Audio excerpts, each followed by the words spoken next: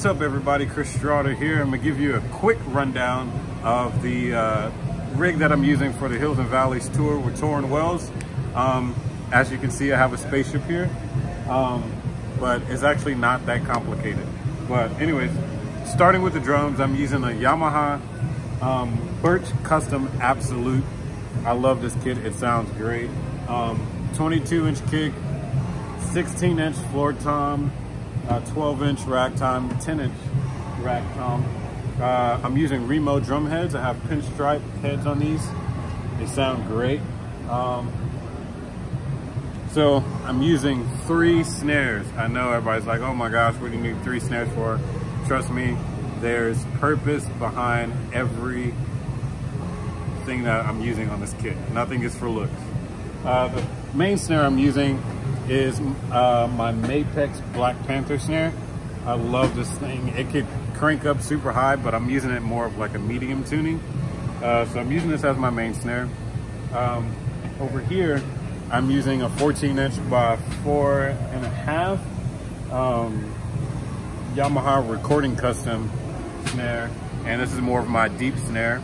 I'm also using a big fat snare drum on top of the drum. Shout out to Big Fat Snare Drum. Uh, shout out to Ben, every, everybody over there. My family. Happy to be a part. Hey, um, they make awesome accessories and stuff. Have some other toys from them. Uh, so that's that snare. I'm also using a 13 inch Yamaha Musashi snare and I have this cranked up like pretty high just to get more crack out of it for those type of songs that need it. So that's pretty much all the drums we can go to sticks using ProMark uh, 5B. And I picked up the one with the nylon tips uh, just because, just to get some more uh, detail out of the cymbals and everything. I've never really used these with the nylon tips, but I like them. They feel great. Um, okay, I guess we can move on to the cymbals next. I'm using all Zildjian cymbals. Hopefully one day I will be able to say I'm a part of their family. Starting with the hi-hats, I'm using the K's uh, 14 inch K hi-hats, uh, they just give a lot of definition and texture and they're not too bright and they're not too dark either. They're just, just right for what I'm playing. Uh, over here, I have the 16 inch dark crash, K dark crash. Uh, love this thing. Over here, one of the newer cymbals from Zildjian is the K Sweet Crash. This is a 20 inch, this is my main crash and it it's perfect. It's a little bit more on the dark side. Uh, which I love it. I don't need anything like super bright. Uh, over here, I'm using the 8 uh, K 8 inch splash. I just love having this little thing. It just, it bites. As well as this one bites as well. This is a 10 inch uh, A Custom EFX uh, splash. And I love this thing. This is probably my favorite cymbal that Zildjian makes. Uh, it just, it's, I don't know how to explain it. It's just dope. Over here, I'm using the uh, K 20 inch ride. Um, same thing. I, I, just it it just works for what I'm doing. It has a nice bell. I can crash on it, and it has great stick definition. Over here, I have the K uh, Dark Crash 18 inch, which is basically the same thing as this one, but this is 18 inches. And then, last but not least, I have the Zildjian Oriental China. This is an 18 inch. Uh, Oriental China right here. And a lot of people ask why I don't use a stack, which I would love to use a stack. I just haven't like put one together. With this China, it, it cuts as well and it's dope for what I'm playing. So now I guess I can move on to the electronic side of everything. Starting with, everybody knows what this is, a Roland SPDS X. Um, I'm using sounds that's already in the drum pad as well as loaded sounds that I've I created myself. Um, so I'm, I'm playing sounds, but I'm also using this as a trigger to start the songs, uh, stop the songs, and turn the click on and off. So you're asking or wondering how I did that. I've taken all the sounds off the first three pads. That way when I um, hit this one, which I've assigned as my play pad, it doesn't make a sound when I hit it. Same thing for stop and click on and off. So I'm this this is actually doing a lot. It's sending and receiving MIDI changes, um, uh, which I can dig into that a little bit more.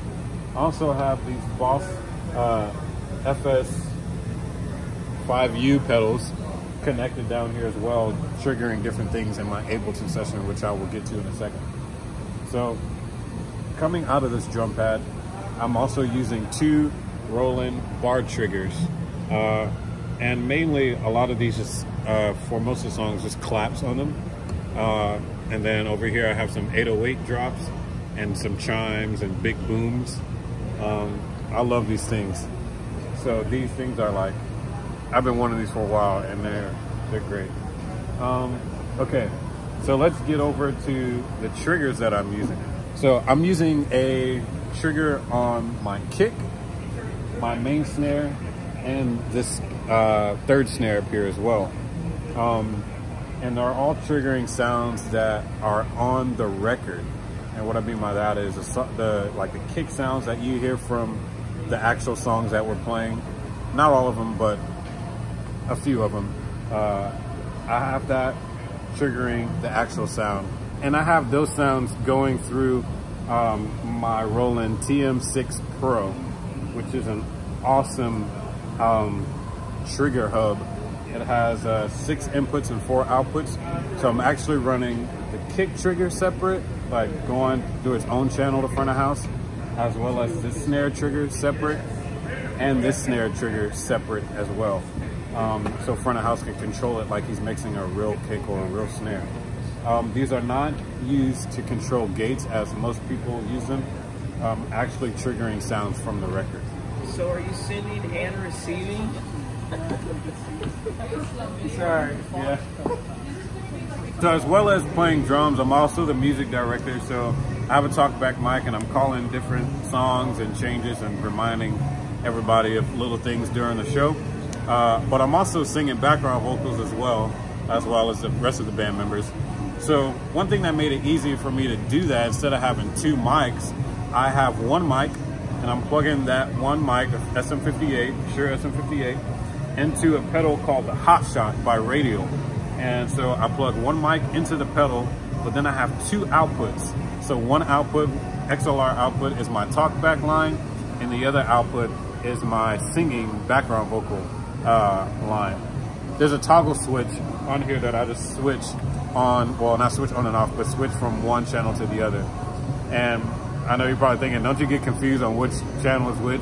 Well, I made it easy. I panned my talkback mic to my left, and I panned my vocal right, vocal mic to the right, so that I know, like, okay, if I hear my mic on the left, then it means it's a talkback, and if I hear it on the right, it's my background vocal mic.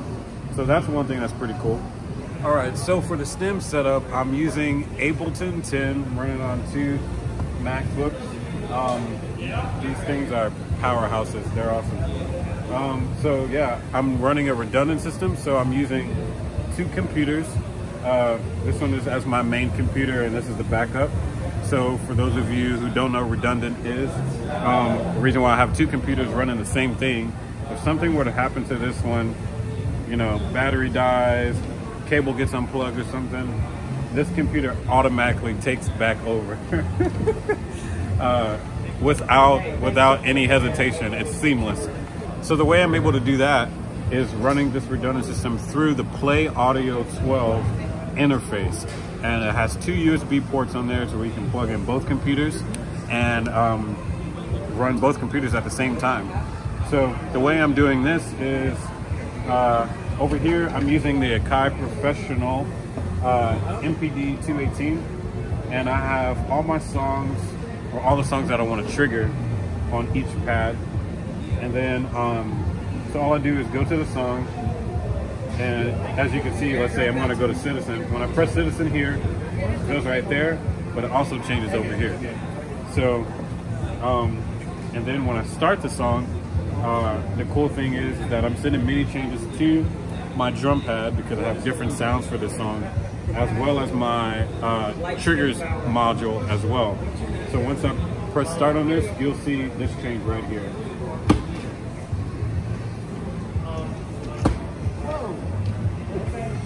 So some of the other MIDI things that I'm doing with this is I'm sending program changes from Ableton to our bass player synth bass um, that he's using. He's using Moog.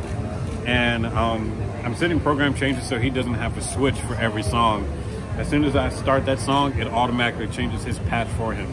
I'm also doing the same thing, like I said, with my drum pad, my triggers module, and I'm also sending program changes to Uriah's pedal board. Um, and it's changing uh, his bank for every song. So basically, he has banks set up for every song, and he has presets within those banks. And what I'm able to do is send, when I start one song over here, and I press start, it switches the song for him over there, so he doesn't have to be scrolling through a bunch of banks to get to the song. So it's a lot of work, but I'm doing that and through the iConnectivity MIDI interface, which makes everything super easy. Um, it's a really awesome setup. So iConnectivity, these guys are killing it with all the gear that they're doing. So let me show you a little bit of the back of the interface, or sorry, the back of the track rack. So this is the back of the track rack, which it may look a little bit messy, but it's actually very dope how it's set up. Shout out to Luke, who's our front of house engineer slash production manager, who built this track rack and put all this together. So back here, there's an eight channel DI and um, it has XLR output. So instead of a bunch of DIs and cables and stuff, there's just one DI rack and there's an eight channel snake coming out of this DI rack. So it's not a bunch of XLRs and stuff. So I'm going out of the Play Audio 12, uh, nine channels, um, going into this DI rack. So I have it split out tracks left and right, loops uh, left and right, background vocals left and right, click separate, guide separate, and then I'm sending time code slash SMPTE to uh, the guys in the back at the lighting board uh, so they can sync everything to the Ableton section. So when I start a song, all their lights change as well, so they're not having to like do stuff on the spot. So have that. He also put a DI back here for um, my triggers. So my trigger uh, quarter inches are going out of the TM6 Pro into the uh, back of this DI situation, and we have three XLRs coming out of that, which makes it super easy for setup. I'm not having to plug in a bunch of stuff every single day. Uh, one main power source right here, which is dope. Also, there's a DI over here for my drum pad uh, that I plug straight into that DI, and the XLRs for the drum pad come out right here. So everything's right there, super, you know, just compact. Everything's right there where I need it. And then last but not least, these are the two USB ports that go to the computers. Uh, so I have them labeled so I don't, you know, mess up which computer is which. And then those obviously go out to the two computers and plug that in. And like I said, there's one power right here and everything just goes into a power source right there. So that's my, so that's my rig. Um, like I said, I love this setup. It's pretty easy to set up. Uh, I'll probably post a, um, like a time-lapse video of how long it takes to set up and all that kind of stuff. But this is my rig on the, uh, on the Hills and Valleys tour with Tauren Wells, playing drums and MDing.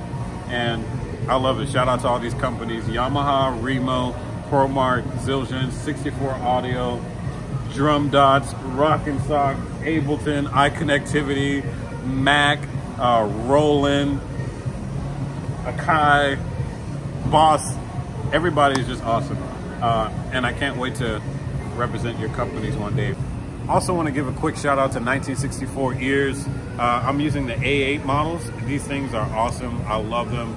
Shout out to 64 uh, for helping us and always taking care of us and making sure we're always having everything we need on the road. These ears are awesome. If you need some in-ears, go check out 1964 Audio. Tell them I sent you. I don't know if that's gonna do anything, but tell them I sent you. But last but not least, Big Fat Snare Drum, my actual family. Thank you for letting me be a part of y'all. Uh, y'all can go get this hoodie on their website. Tell them I sent you. Again, I don't know if that's gonna do anything, but sweet.